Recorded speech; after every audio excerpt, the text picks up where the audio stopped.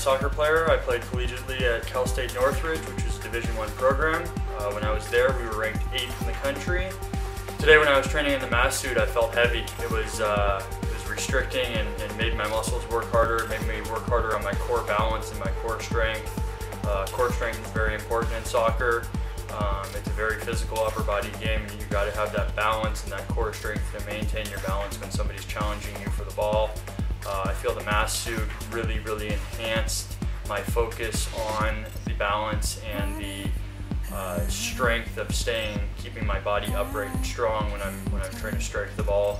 Um, as far as the lower body, my legs got a, a tremendous workout.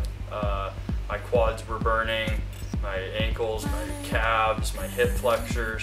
They were all working extra hard to uh, do the normal things that I normally do every day and don't struggle to do at all. Um, I feel that really maximized the uh, shorter workout than I usually do, and I'm tired, more tired now than I am after regular workouts.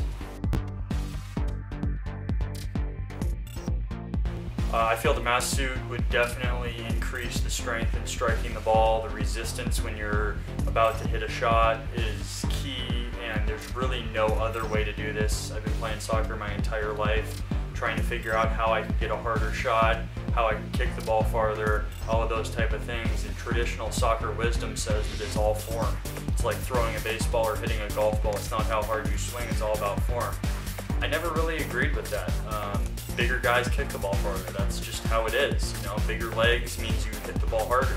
And uh, with the resistance from the mass suit, you definitely feel that those muscles are building up to be able to strike the ball harder uh, plus with the mobility of the mass suit, it's something that no other no other training device can do because with any other training device, you're going to have either weights, which will throw off all parts of your form, or you're going to be stationary with the bands, so you can't move around on a soccer field and actually try and strike balls.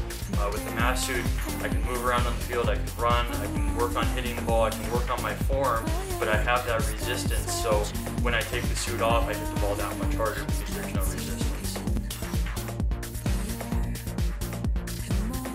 I would not only recommend the mass suit to other athletes, I'm going to purchase one myself and use it in my private lessons with the kids that I train. I feel that it's a great device. Having used it now, um, coming into it, honestly, I was uh, apprehensive about how it would work. Having never had anything in soccer that could uh, work the way that this works, um, I feel this is a great, great tool for training not only soccer players,